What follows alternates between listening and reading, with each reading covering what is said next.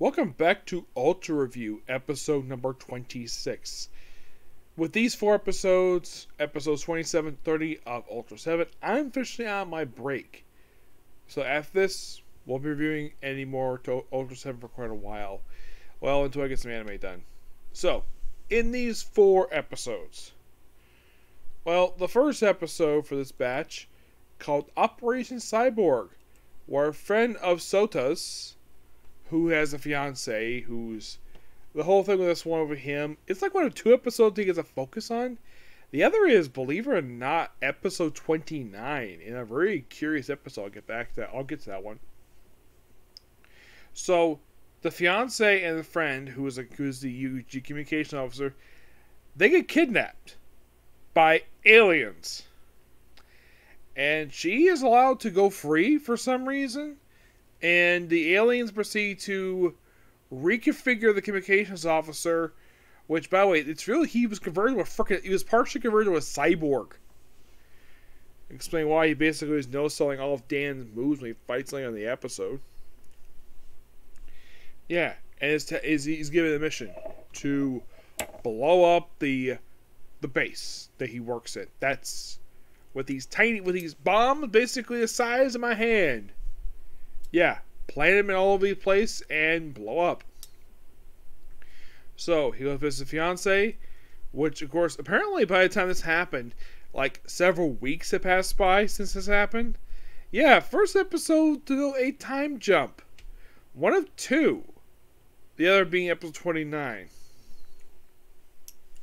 Not sure why there is a time jump. You could say, presumably, this opening scene may take place at some point during the course of the episodes, and having like between there, probably seven episodes between. That's the best way I can buy it. If that happened, is that what if basically the other stuff happened in between that the opening scene and the uh, time skip in the episode? That's a possibility. I could say that possibly like we have about five or six episodes pass by. Who knows? So the friend is free. He basically gets out, and he's working with the aliens of the episode, who is not given a name. They do want to blow up the base because they want to invade the planet for reasons. And Dan obviously is the one who knows that something is wrong. No one else knows anything wrong, but Dan does. Now I'm not sure at this point how long he's a member of the Ultra Guard. I would say maybe six months, but they don't note this at this point. Not really. So he does find out, and of course he knows that. He fights him, and he's knocked out. Well, basically Daniel's later saved, and they find all the bombs pretty easily, except one, which the viewer can easily see where it is on Dan's boot. And of course, Dan uses the bomb when he uses an Ultra form, Ultra Seven form to fire out, to throw out the monster. He proceeds to presumably defeat it. And the name of the monster this episode this alien he fights is quite interesting to say the least.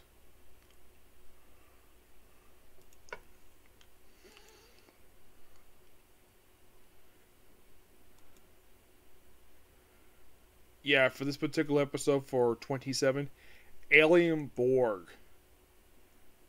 It's this like armor alien who shockingly returns after this. Mm-hmm.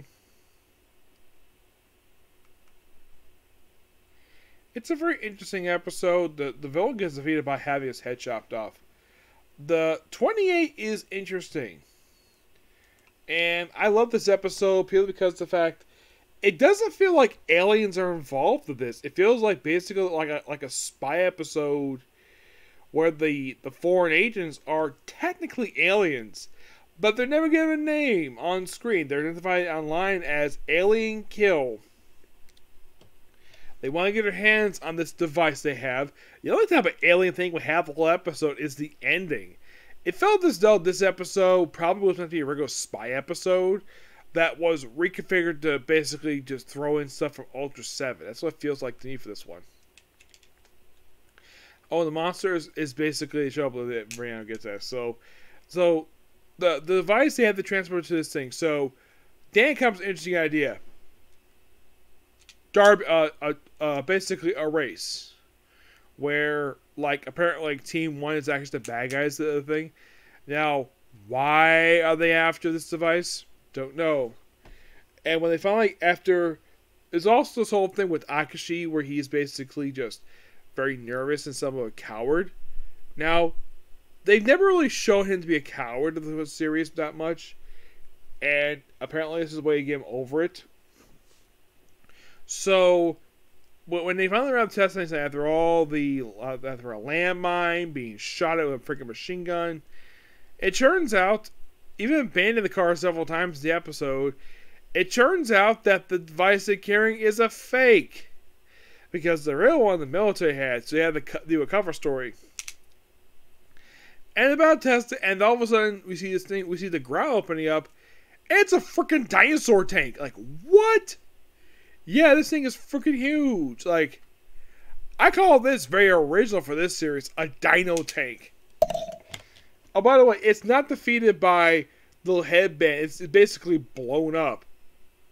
But really cool episode. Love this one. In the case of episode 29, this is one basically where this feels like basically like it was supposed to be a movie for Ultraseven, but it was condensed down to an episode because it feels like this is basically like a 45 minute movie. Given the pacing of this episode, where like, okay, so we have this satellite launched in orbit.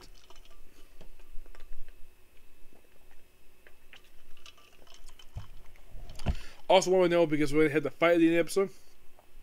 It's longer than the normal fight. We actually have a cutaway to something else while this is going on, which I found to be quite ingenious. First time I'm seeing for this for this franchise. I think it was in this episode. I actually it was last episode.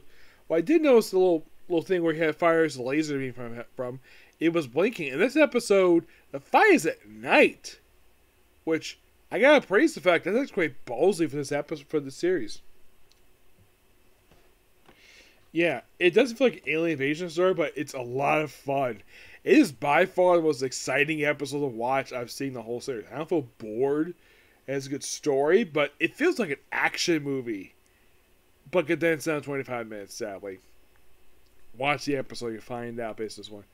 The last episode, last episode, this is quite interesting. So, there's a training exercise. Also, something going on in the dunes.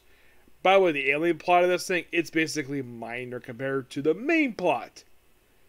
Where, get this. So we have Furuhashi and Soga basically doing shot pull, uh, shot, uh, shotgun pool, and all of a sudden, Rider Man shows up in Kamen.